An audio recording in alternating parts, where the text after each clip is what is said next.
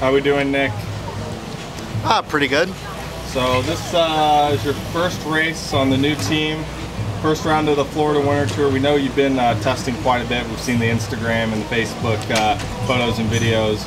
But now you're against competition, probably one of the deepest DD2 fields that really maybe even the world has ever seen.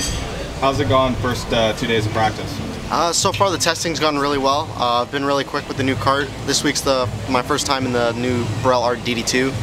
Uh, before I spent a little bit of time in a senior car doing some driving schools, stuff like that. But uh, the DD2's been really strong so far and uh, looking to be really quick for the weekend.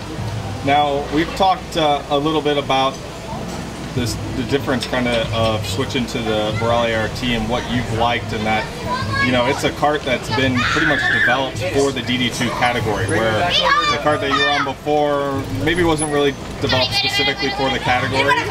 Uh, can you tell us a little bit about what you like different uh, with the new package?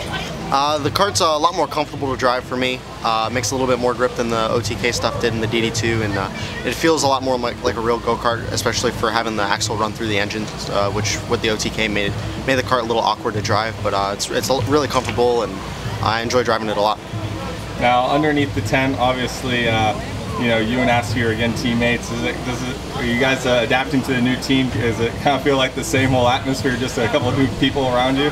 Uh, it does. I mean, uh, I, have known a lot of the guys here, and Oliver came up and spent the weekend at Andersen, so he knows everybody too coming in. And uh, me and Oliver just kind of sit in our own corner, same like as we used to. So uh, everything's going really well. Perfect. Well, good luck the rest of the weekend, and uh, hopefully we'll see you on the top of the box. Thank you.